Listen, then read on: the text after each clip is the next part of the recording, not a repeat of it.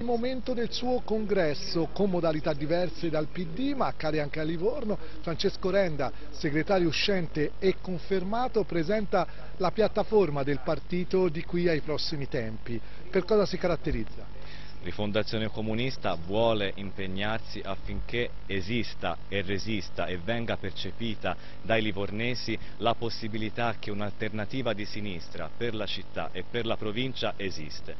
Purtroppo abbiamo la consapevolezza che la frammentazione della sinistra non consente l'articolazione adeguata alle sfide che la città attende. Allora vi alleerete con qualcuno?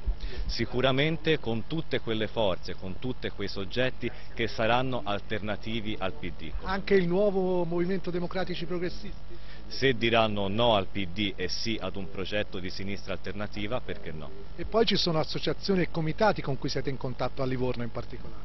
Assolutamente, riteniamo che la base sociale associativa sia fondamentale per qualsiasi partito politico perché consente le idee, le articolazioni per comprendere la realtà e di conseguenza mettere in campo azioni concrete. Una volta a Livorno Rifondazione Comunista fece notizia perché prese se non ricordo male intorno al 13%, sono lontani quei tempi, vorranno ripetersi?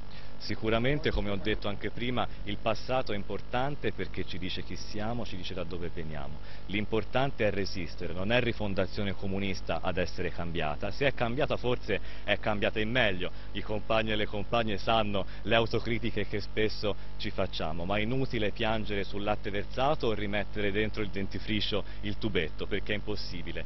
Voltiamo pagina, ci siamo e ci saremo.